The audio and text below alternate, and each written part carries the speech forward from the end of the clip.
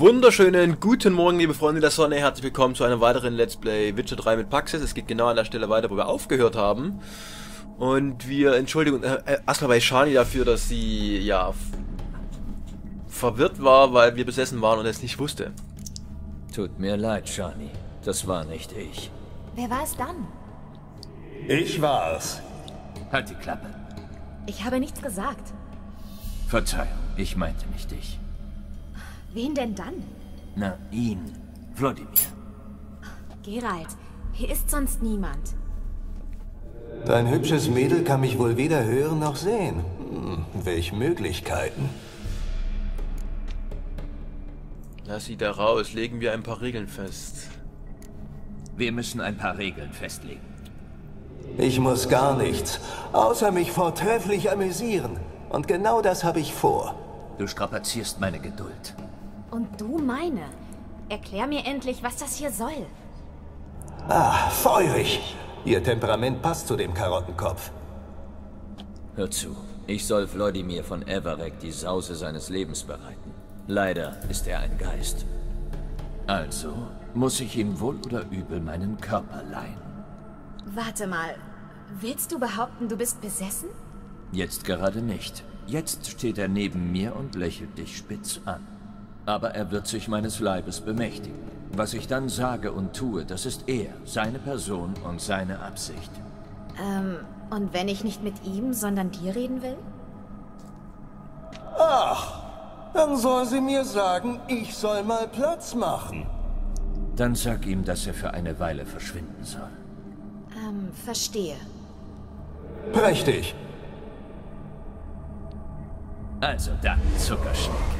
Warum verschwinden wir nicht aus dieser feuchten Gruft? Gleich hier ist ein hübscher Hain, in dem Küsse süßer schmecken als irgendwo sonst. Jetzt bist du also Wladimir.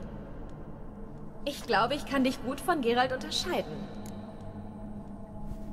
Ach so, jetzt muss ich ja auch noch äh, in die Richtung, also jetzt muss ich ja auch noch äh, für ihn reden quasi. Jetzt muss ich mir erstmal überlegen, wie ich das machen will. Also ich muss ja, ich will ja dann eigentlich schon eher seinen Geist widerspiegeln und nicht so wie ich normalerweise als Geralt spielen würde, deswegen... Nicht vom Thema ablenken, Süße. Wenn du keine Wälder magst, können wir uns den Schnickschnack auch sparen und gleich einen Heuhaufen suchen. Ich fürchte, ich muss ablehnen, lieber Geist. Ein Jammer. Dann sag mir bitte, wo das nächste Bordell ist. Ich habe eine bessere Idee. Bevor Gerald in die Krypta ging, um dich zu beschwören, habe ich ihn zur Hochzeit meiner Freundin eingeladen. Meine Güte, ist dieses Glück zu glauben. Es gibt in ganz Redanien keinen besseren Tänzer als Vlodimir von Everek. Mit mir, mein Sahnetörtchen, wirst du den Abend deines Lebens genießen. Wunderbar. Ich muss mich noch umziehen, also treffen wir uns beim Tempel. Oh, das höre ich aber gar nicht gern. Warum nicht? Ich mag keine Tempel. Ich habe sie nur zum Plündern betreten. Und als Toter habe ich nur Verachtung für sie übrig. Warum treffen wir uns nicht nach der Zeremonie? Direkt beim Fest? Na schön. Anders geht es wohl nicht. Famos. Dann sehen wir uns im Festsaal.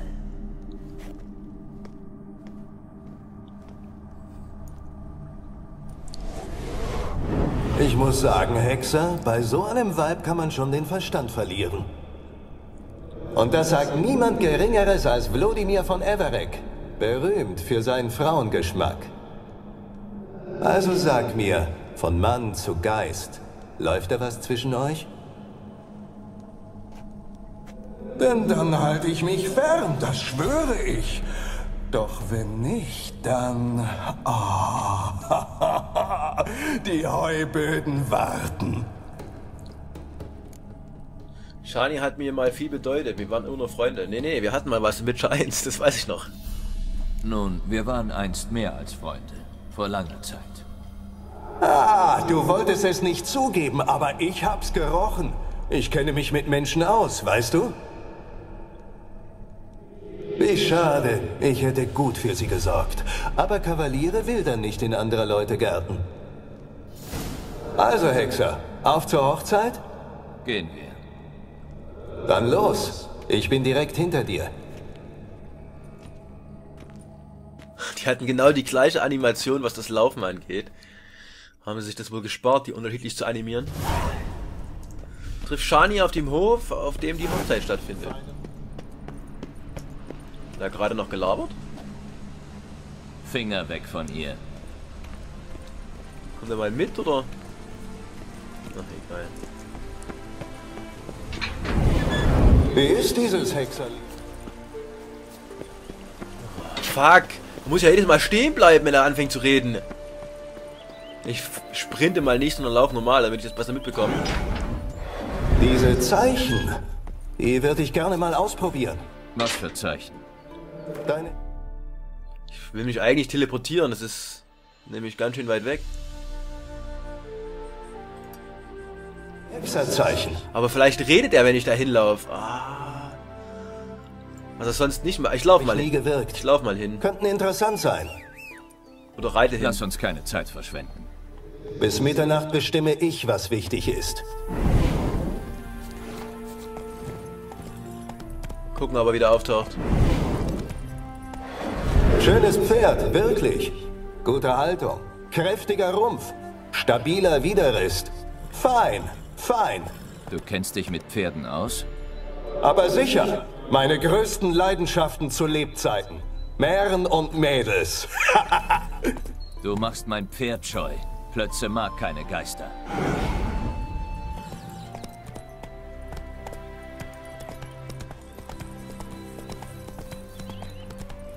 Reite erstmal langsam, um zu gucken, ob er wieder auftaucht. Ah, ich glaube, er lässt uns jetzt erstmal in Ruhe, oder?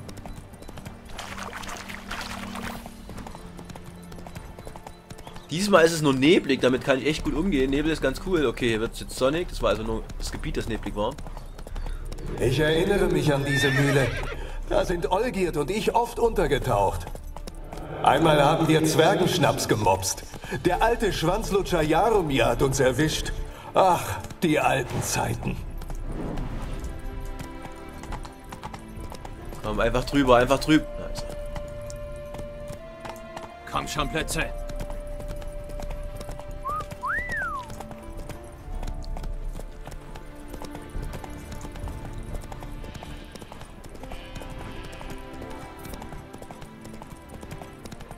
Na, taucht er nochmal auf? Vielleicht bei der Brücke? Hat er da was zu erzählen? Ich erinnere mich an diese Brücke, da bin ich mal runtergefallen ins Wasser.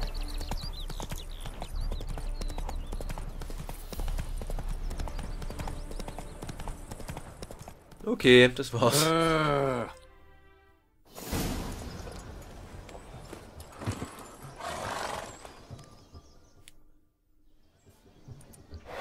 Sie ist noch nicht hier. Wir müssen warten.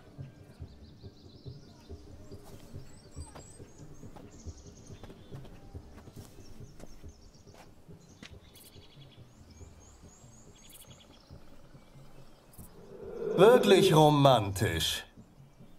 Leck mich am Arsch.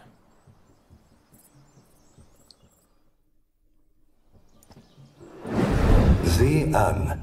Es hat schon Kriege um hässlichere Frauen gegeben. Na, Überfälle jedenfalls.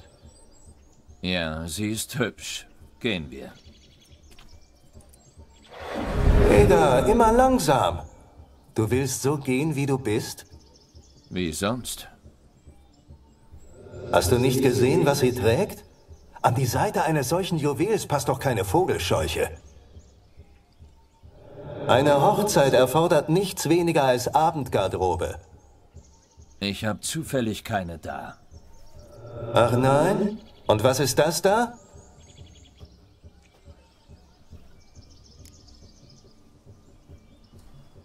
Oh nein, wir klauen nicht. Komm schon, wir leihen es doch nur. Wir könnten doch auch einfach fragen, ob wir es kaufen können. Oh, das ist genau das Richtige.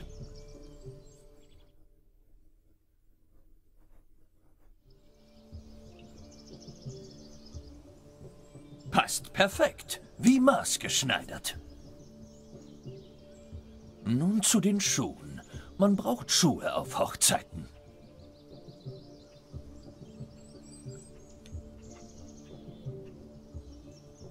Hm, und noch das hier.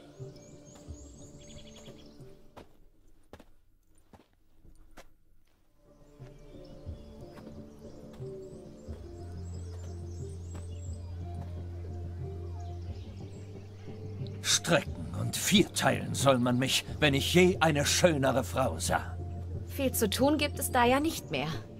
Augen wie ein Reh, ein Schwanenhals, eine Taille so schmal, dass man sie umfassen kann. So macht es doch tatsächlich Spaß mit dir. Du wirst noch viel mehr Spaß haben, wenn du mich kennenlernst. Siehst du, Gerald kann mir nicht das Wasser reichen. So ist es. Gerald war ein schrecklicher Langweiler. Doch heute ist alles anders. Und wie, das sehe ich. Er ist nicht allzu gesprächig. Er ist ein Idiot. Doch ich werde alles wieder gut machen. Willst du meine Frau werden? Ein großer Schritt, aber ich denke drüber nach. Lass uns zur Hochzeit gehen. Kann ich bitte kurz mit Gerald sprechen? Wozu denn? Hier geht es um mein Vergnügen, nicht um seins. Nur ganz kurz. Du bist gleich wieder dran. Beeil dich. Ich will schließlich nicht bis Mitternacht warten. Gerald, ich stelle dich jetzt den frisch Vermählten vor. Sorg dafür, dass dein Freund mir keine Schande macht. Ich kann ihn nicht beeinflussen. Ich hab Stuss geplappert wie ein Volltrottel. Zum Teil hat mir der Stuss gefallen. Zum Beispiel.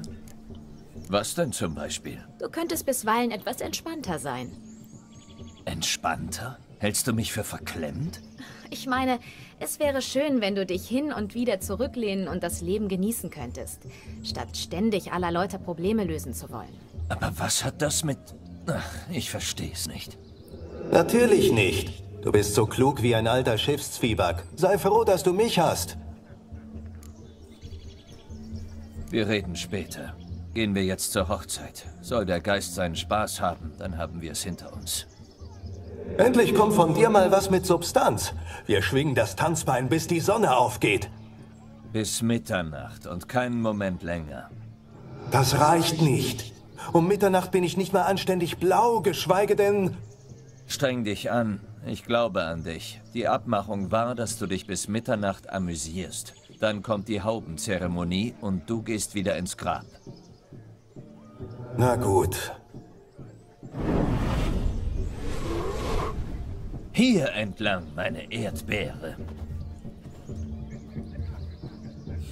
Wegen ihren roten Haaren wahrscheinlich. Hallo Welt, da bin ich wieder. Ich will verdammt sein. Eine richtige Hochzeit, volle Tafeln, Speis, Trank und Geselligkeit und schöne Frauen zuhauf.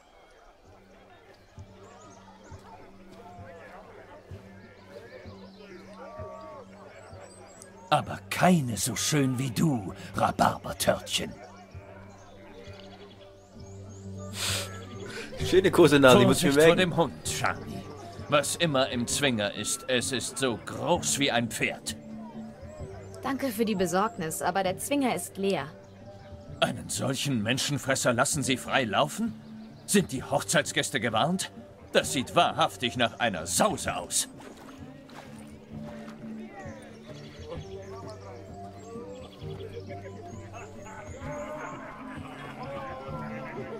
So eine schöne Vogelbeere. Als ich jung war, habe ich Halsketten aus ihren Früchten gemacht. Und als ich jung war, haben Olgierd und ich fantastischen Fusel aus den Beeren gebrannt.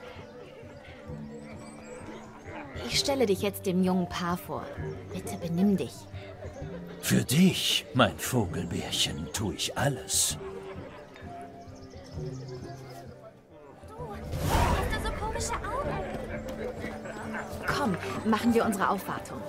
Wir sollten unsere Aufwartung. die Lachreise auf euch Schenk genommen ihm deine besten Bist du Mandeln. taub? Noch einmal. Alles Gute für dein neues Leben. Vielen Dank. Jetzt sind wir dran. Möge jeder Segen euch zuteil werden. In Gesundheit und Freude sollt ihr leben. Und Harmonie und Liebe sollen euch auf immer verbinden. Vielen Dank. Aus ganzem Herzen. Und nun genießt das Fest. Wir sind dran.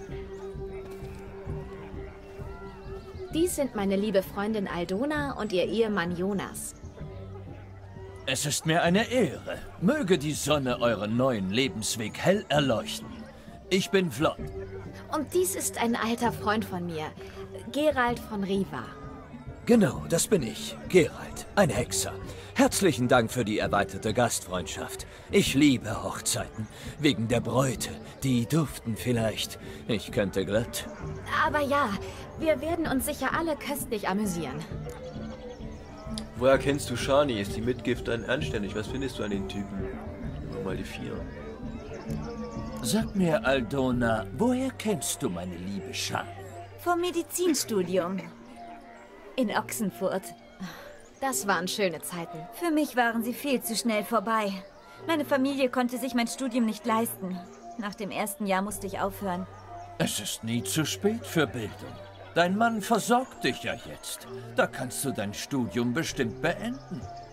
Ich weiß nicht.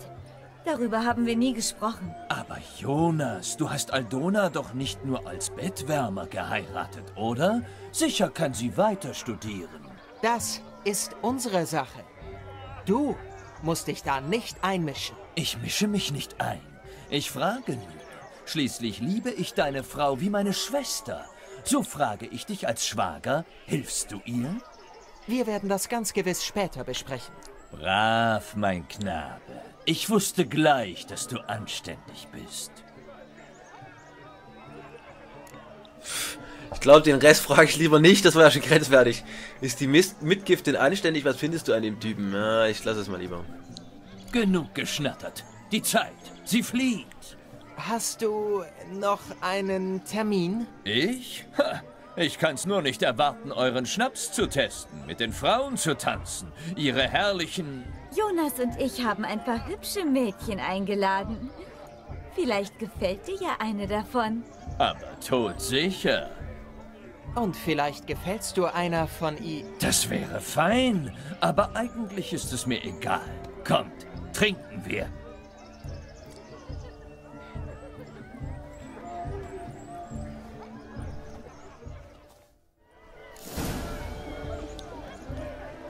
Nimm bis Mitternacht an den Hochzeitsfestivitäten teil. Was für eine rauschende Hochzeit. Die Eltern haben wirklich an nichts gespart.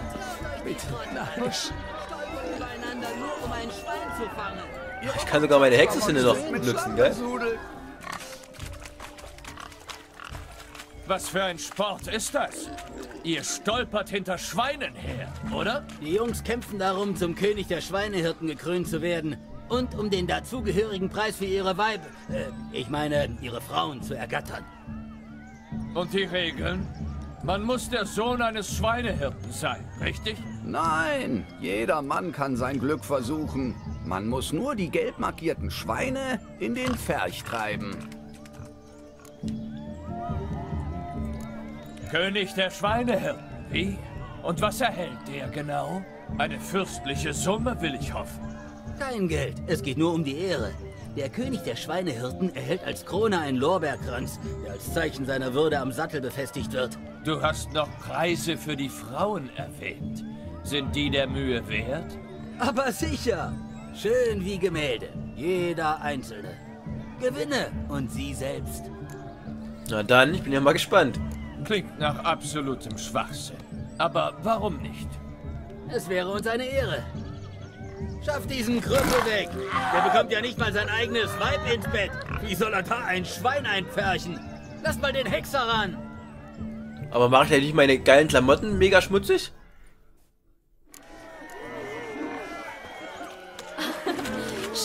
Kein Maler anwesend ist. Diesen Moment sollte man für die Nachwelt festhalten. Siehst du meine Bewegungen, Shani?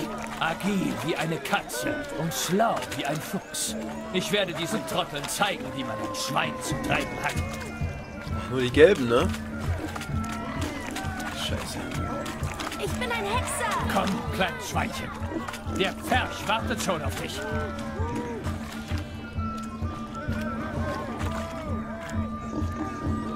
Hast du gesehen, Shani? Ein Ah. Schwein eingepfercht.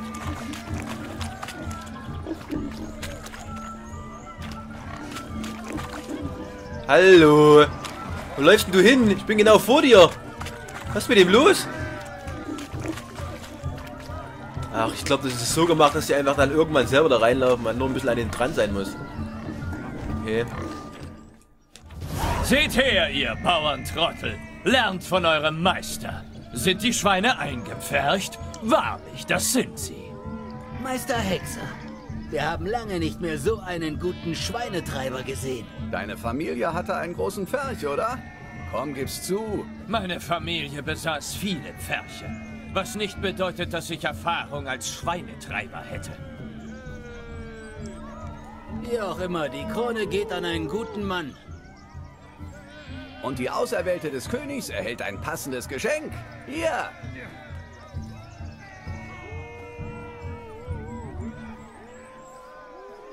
Kleines Schwein. Versteck es aber nicht in irgendeiner Tasche. Binde es an einem Pferd fest, damit alle es sehen können. Was sagst du nun, Shani? Hast du jemals jemand Geschickteren gesehen? Auf jeden Fall kannst du gut Schweine durch den Schlamm treiben. War lustig, dir zuzusehen.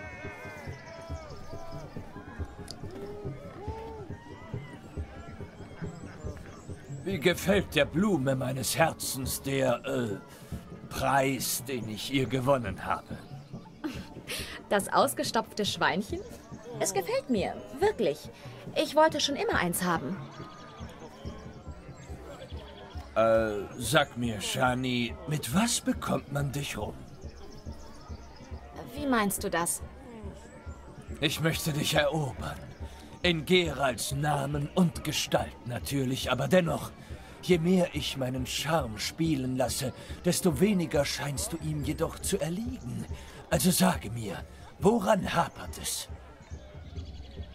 Hm, vielleicht stehe ich einfach nicht auf dich. Schon mal daran gedacht?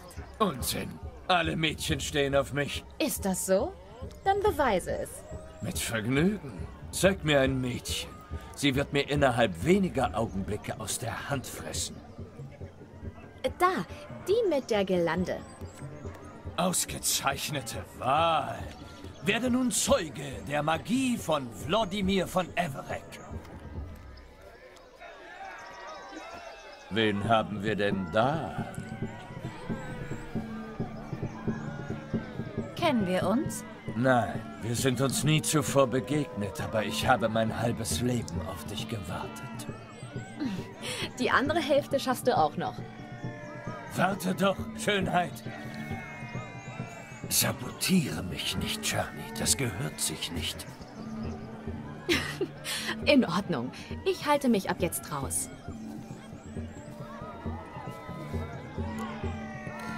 Bist ein wahres Wunder, Liebes. Hat es wehgetan, als du zum Himmel gefallen bist? Ah, das ist dumm, der zweite Spruch.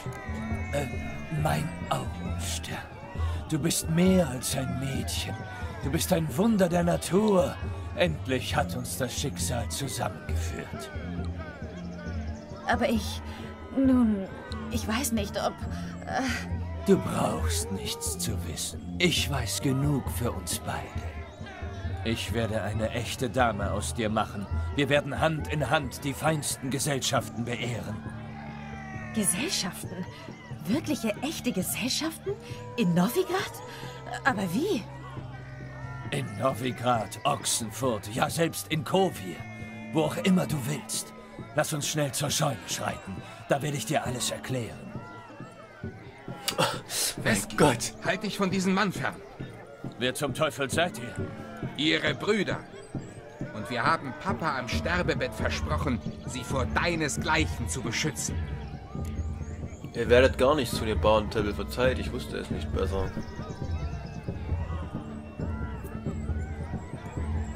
Ach, ich muss so reagieren. Also eigentlich würde ich lieber die zwei nehmen, aber ich muss so reagieren, wie er reagieren wird. Deswegen werde ich die eins erst in der nächsten Folge. Bis dahin, euer Paxis. Tschö, tschö.